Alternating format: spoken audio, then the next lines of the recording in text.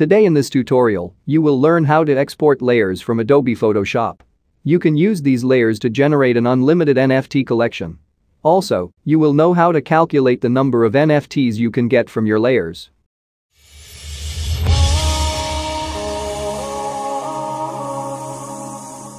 Usually, when you export an image from Photoshop, all the layers will fuse. You cannot separate them from one another. To generate an NFT collection, you should have NFT layers like in our previous video. First, you have to create your NFT layers with variations.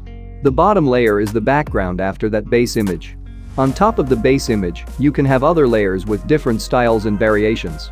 The number of NFTs you can generate using NFT generators depends on the number of layers you created.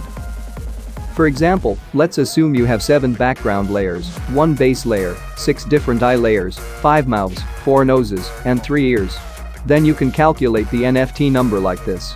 So you can generate up to 25 20 NFTs. Before exporting the layers, ensure visibility is on for all the layers.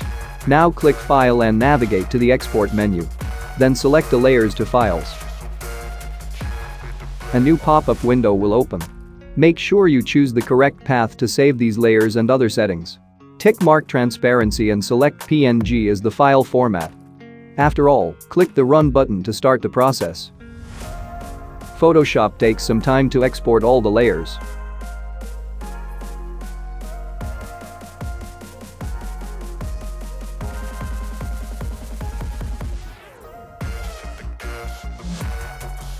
After that, you can categorize and rename the layers manually before adding them to the NFT generator.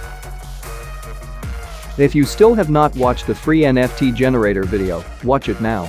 The link is in the video description.